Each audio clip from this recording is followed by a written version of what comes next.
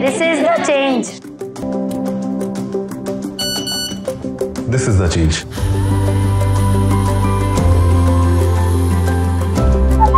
This is the change. This is the change. The change is happening. It is making me fully independent and self reliant. The change is protecting my rights, ensuring that I get my fair share without any obstacles. The change is power. Today, I have the power of technology, the power of Jandhan account, Aadhaar, and mobile.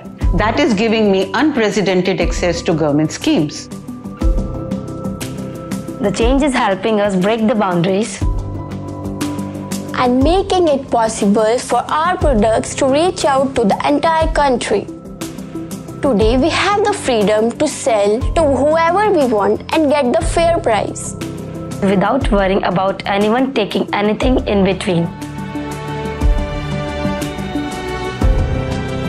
The change is the hope that I can fulfill my dream of becoming an entrepreneur. The confidence of making mistakes and learning from them.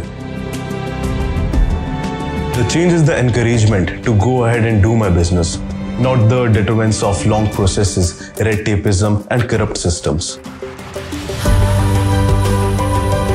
The change is making me believe that I matter. The change is ensuring that I'm not left at the mercy of moneylenders for proper health and yield of my crops. The change is safeguarding my privileges as an equal citizen of this country. Change happens when there is zero tolerance towards corruption. Change happens when people are treated fairly. Their rights are respected and protected. And the systems are made accessible and transparent. This is the change that the people of the world deserve.